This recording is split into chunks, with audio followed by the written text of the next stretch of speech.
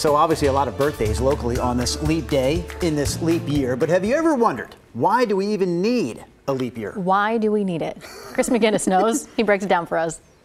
2024 is a leap year, and the question arises why do we have leap years? Well, the Earth takes one year to revolve around the Sun, right? Not exactly. It actually takes 365.2422 days.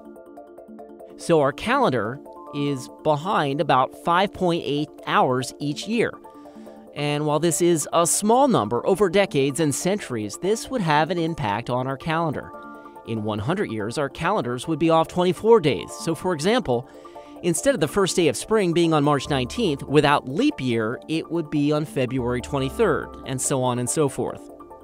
To help synchronize the time, the solution that was introduced centuries ago we add one day every four years. Problem solved, right? Not quite. When you subtract the amount of time it takes for the Earth to complete one revolution around the Sun with our solution, you find that we're still 11 minutes off each year.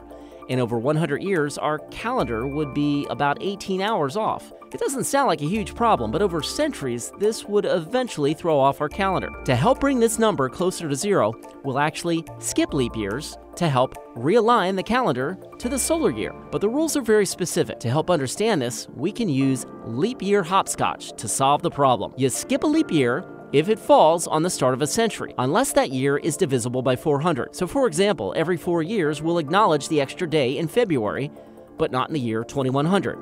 We will skip that year since 1. It falls on the start of a century, and 2. It's not divisible by 400. Back in the year 2000, that was a leap year, but since it was divisible by 400, we did not skip it.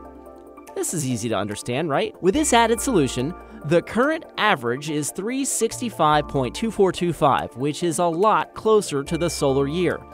Unfortunately, we're still off by decimals. To be exact, about 26 seconds ahead each year. At this rate, it would take over 3,000 years to be off by a day, which some would argue is close enough.